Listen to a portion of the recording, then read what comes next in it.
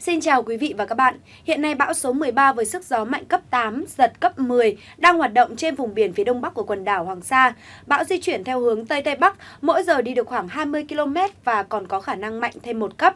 Đến 13 giờ hôm nay, vị trí tâm bão sẽ ở cách quần đảo Hoàng Sa khoảng 360 km về phía đông đông bắc. Trong khoảng 24 đến 48 giờ tiếp theo, bão di chuyển chậm lại theo hướng Tây, mỗi giờ đi được từ 10 đến 15 km. Đến 13 giờ ngày mai 12 tháng 11, vị trí tâm bão sẽ ở trên khu vực phía bắc quần đảo Hoàng Sa với sức gió mạnh cấp 9 đến cấp 10 và giật đến cấp 13. Do ảnh hưởng của hoàn lưu bão, ngày hôm nay, vùng nguy hiểm có gió mạnh từ cấp 6 trở lên sẽ là khu vực từ vĩ tuyến 14 cho đến 19 độ vĩ Bắc, phía đông kinh tuyến 113 độ kinh đông. Riêng vùng biển phía đông của khu vực Bắc và giữa Biển Đông sẽ có mưa rào và rông mạnh, gió mạnh dần lên mức cấp 6 đến cấp 7, vùng gần tâm bão đi qua mạnh cấp 8 đến cấp 9, giật cấp 11 đến cấp 12, biển động rất mạnh. Trong khi thời tiết trên biển đang diễn biến hết sức nguy hiểm với sự hoạt động của cơn bão số 13, thì trên đất liền, thời tiết đang có xu hướng tốt dần lên, giúp bà con khắc phục những hậu quả nặng nề sau mưa lũ. Ngày hôm nay, cả hai loại hình thế gây mưa cho các tỉnh miền Trung và gió đông bắc tầng thấp và nhiễu động trong đới gió đông tại các mực khí quyển trên cao sẽ hoạt động yếu dần. Chính vì thế mà những cơn mưa ở các tỉnh miền Trung sẽ không còn mạnh như những ngày trước nữa. Vùng mưa lúc này cũng thu hẹp dần, chủ yếu xảy ra tại các tỉnh từ Nghệ An trở vào cho đến Quảng Ngãi. Mưa giảm, nước lũ từ thượng nguồn cũng không còn đổ về nữa. Chính vì thế mà mực nước trên các sông ở Quảng Ngãi đến Bình Định sẽ tiếp tục xuống.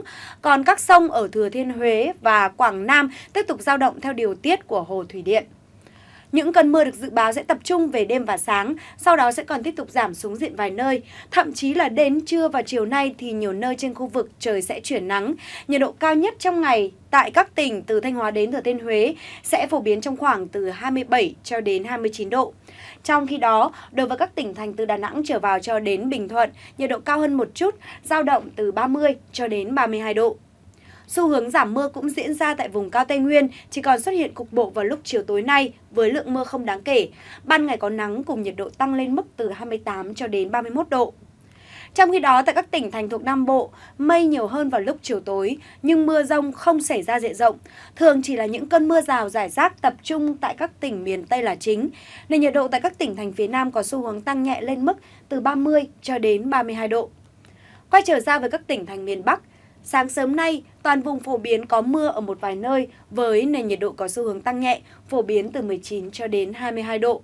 Cảm giác lạnh chỉ còn xảy ra ở vùng núi vào thời điểm đêm và sáng sớm.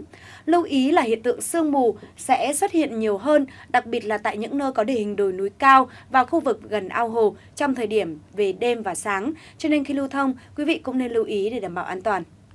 Về trưa chiều thì thời tiết sẽ trở nên ấm áp hơn với mức nhiệt toàn vùng sẽ tăng dần lên ngưỡng từ 26 cho đến 29 độ, một vài nơi có thể lên trên 29 độ. Thời tiết tạnh giáo, nhiệt độ vừa phải sẽ vô cùng lý tưởng cho các hoạt động vui chơi của người dân trong ngày cuối tuần. Như vậy là ngày hôm nay thời tiết trên khu vực đất liền sẽ có xu hướng chuyển tốt, trong khi đó các vùng biển còn lại lại chịu ảnh hưởng của cơn bão số 13 có diễn biến và đường đi khó lường.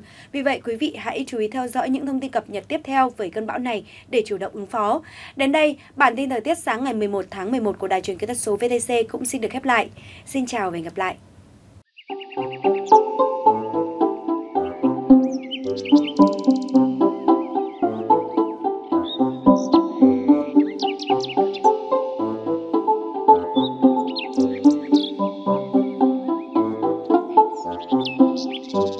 you